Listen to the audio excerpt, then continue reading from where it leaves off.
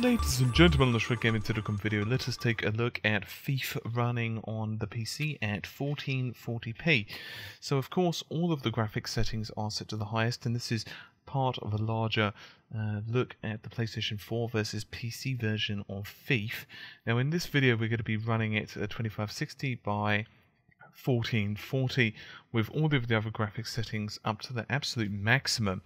And the game runs absolutely beautifully on a GeForce GTX 780 Ti keeping well above the 50 frames mark even in the benchmark which is quite grueling hit an average of 52, which you can see in a completely separate video.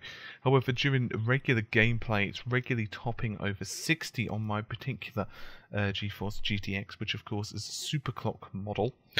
In combination with a high-end Intel processor, that would be a Haswell 4770K and 16 gigabytes of DDR3 memory. The game does play absolutely beautifully. Now, of course, many of you are not going to be playing this ridiculous resolution unless maybe you want to do something like downsampling because um, 1440p monitors aren't really the standard commonplace yet. Of course, most people are playing in 1080. However, creating this video in 1440 will also be, be, able to provide you guys with slightly higher bitrate quality and it's kind of a test on my end just to see what you guys think of it you know maybe give it a little bit of feedback. Hence one, one of the reasons it's such a short video because it it's such a large file size and I just want to get some feedback from you guys.